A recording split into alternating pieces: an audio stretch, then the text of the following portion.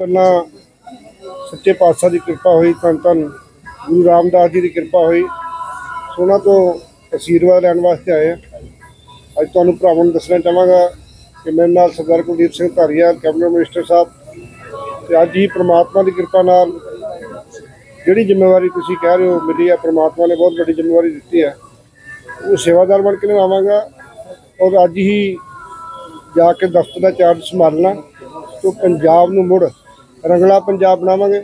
ਮੁੱਖ ਮੰਤਰੀ ਸਰਦਾਰ ਭਗਵੰਤ ਸਿੰਘ ਮਾਨ ਜੀ ਦਾ ਜਿਹੜਾ ਪਹਿਲੇ ਦਿਨ ਤੋਂ ਸੁਪਨਾ ਹੈ ਕਿ ਪੰਜਾਬ ਮੁੜ ਪੰਜਾਬ ਬਣਾਉਣਾ ਰੰਗਲਾ ਪੰਜਾਬ ਬਣਾਉਣਾ।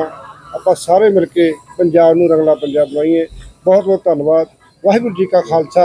ਵਾਹਿਗੁਰੂ ਜੀ ਕੀ ਫਤਿਹ। ਸਾਹਿਬ ਸ਼ਹਿਰੀ ਵਿਕਾਸ ਦਾ ਮਹਿਕਮਾ ਤੁਹਾਡੇ ਕੋਲ ਹੈ? ਕਿਸ ਤਰ੍ਹਾਂ ਦਾ? ਇੱਕ ਮਿੰਟ ਆਇਓ ਅੱਜ ਮੱਥਾ ਇੱਕ ਮਿੰਟ ਆਇਓ। ਅੱਜ ਮੱਥਾ ਟੇਕਣਾ ਹੈ ਜੀ। ਬਹੁਤ ਵਧੀਆ। ਜੋ ਲੋਕਾਂ ਨੇ ਉਮੀਦਾਂ ਨਾਲ ਸਰਕਾਰ ਬਣਾਈ ਉਸ ਉਮੀਦਾਂ ਤੇ ਪੂਰਾ ਖਰਾ ਉਤਰਾਂਗਾ। ਧੰਨਵਾਦ। ਚੱਪ ਜੀ ਆਪਾਂ ਆਪਣੇ